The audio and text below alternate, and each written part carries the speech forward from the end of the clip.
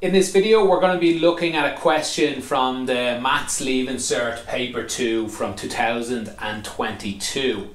You'll find some timestamps below the video if you want to skip to a specific question. And also, if you want to go to a different question that I'm covering in this video, check out the playlist that you should find a link for in the description below. This is question 6. We have some geometry, especially revolving around a circle. Now, before we even get to the first question, they set up the question, part A. They show us this. They, they give us all the numbers for it, but really they show us everything we need on the picture. Although it's important to read it as well.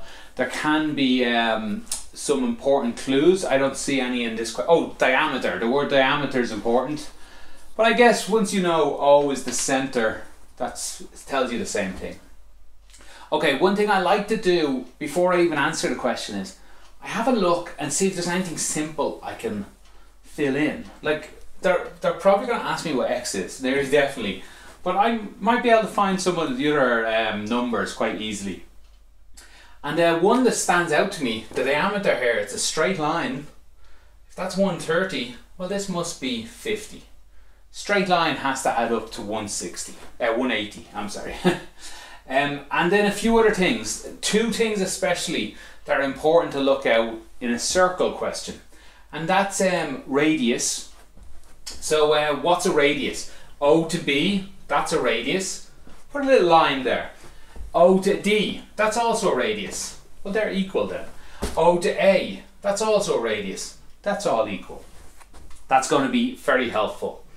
The other thing to look out for is when you have a diameter and a triangle hits the circle like we have here. And if I draw that again this angle here has to be 90 degrees. There's a theorem for that. We can go ahead and prove it. It'll be in your book somewhere. So this angle up here this big angle is 90 degrees. So that's uh, something else that's useful. Um, Let's skip on to part one and ask what are they actually asking? Write down the angle AD B. So A, D, B. That is this angle up here. That's this entire angle up here. So part one, they often help you through this um, by giving you little clues. Here's how you'd start answering the question. So part one is simply 90 degrees. And you could give a reason. You could say, um, because the triangle is in a semicircle. And that, that'd be enough for them. That'd be, uh, even if you wrote 100 by accident and you wrote because it's in a semicircle, they'd probably give you most of the marks because you just misremember the number rather than the idea. Okay, so part two, um, A, AOD, AOD is 130. Work out the size, the, the size of the angle marked X. Okay, so how would you do this? Uh, there's a couple of ways to go ahead doing it. The fact that I've put 50 in, that would help already. And the big clue here is to find an isosceles triangle. And we can do that because of all these radius. So let me draw um, A, O and D again. But I'm going to flip it on its side. A, O, D. This is A um, over here. That would be D down here and there would be O. And remember this is a radius. These are equal to each other. That's an isosceles triangle. Now you don't have to draw it again. It's just I find some students it helps to see it like this. Uh, and we know this is 130. So if this is an isosceles triangle, this and this must equal each other. Um, so and they must add up to get 50 because they they have to add together with 130 to get 180.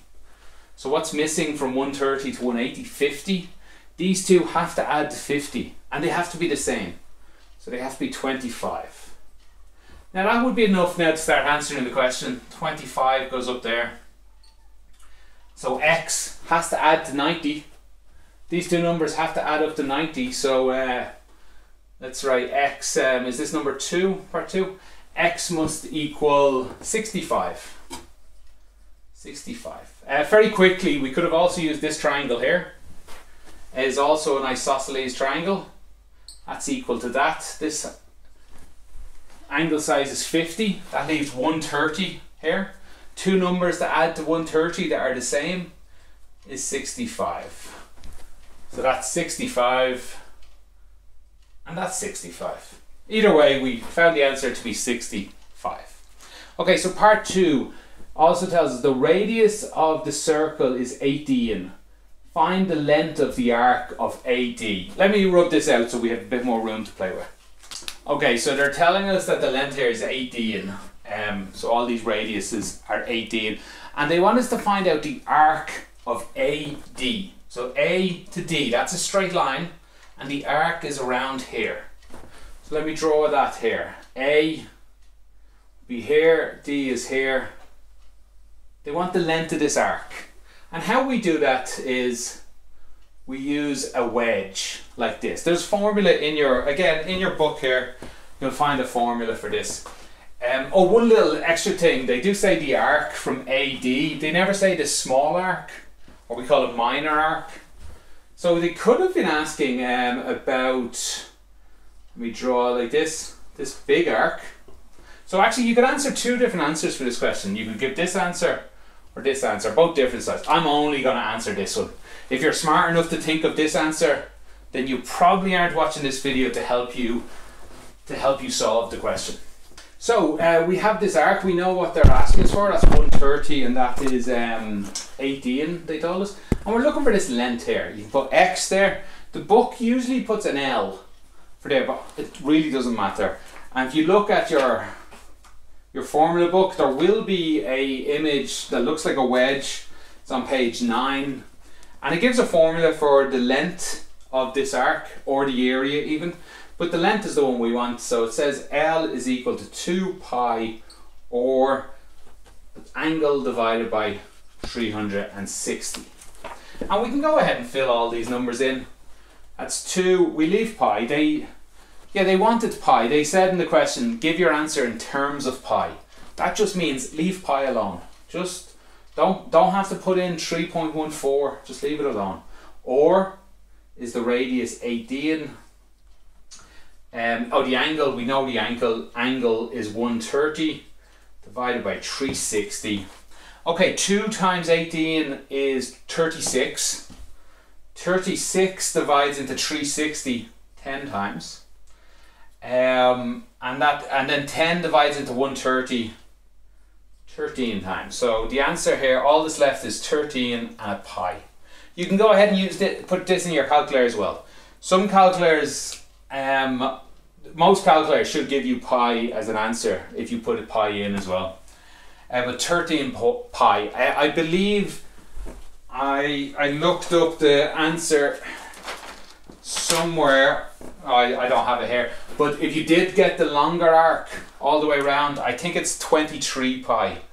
But uh, it's done the same way. It's just instead of the angle 130 here, the angle would be, oh yeah, 230 would be the angle around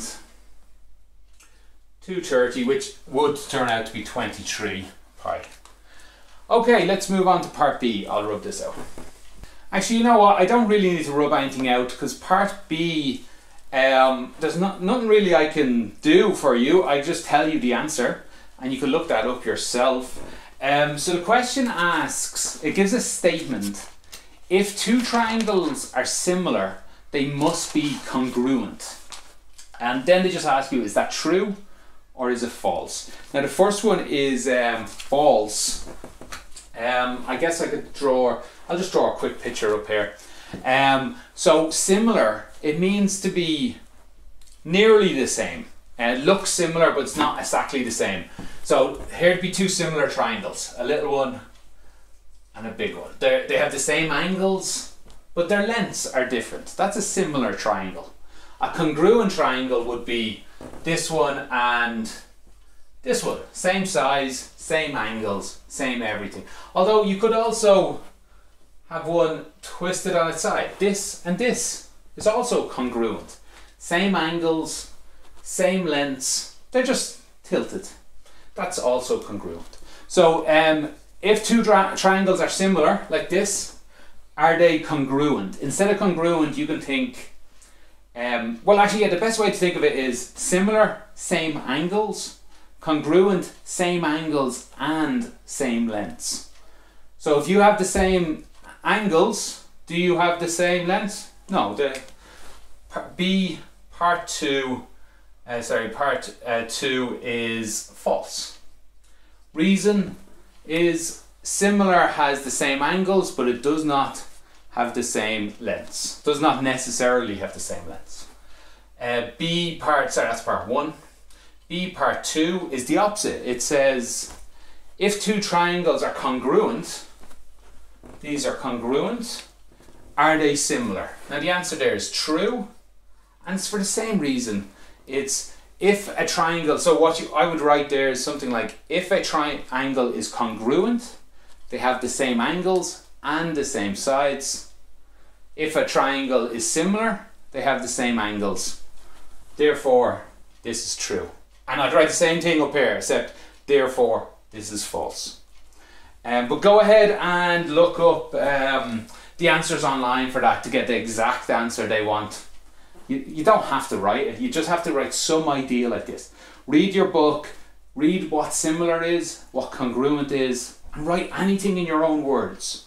Really, they'll be very lenient, they'll forgive any English mistakes.